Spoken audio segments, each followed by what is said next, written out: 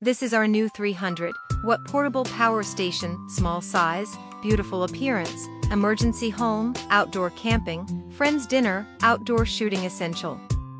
We can charge it with adapters and solar panels.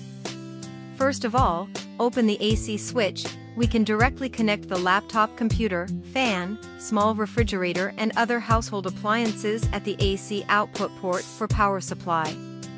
Open DC switch again, there are DC input port and DC output, convenient connection MP3, digital camera, portable media player and other products.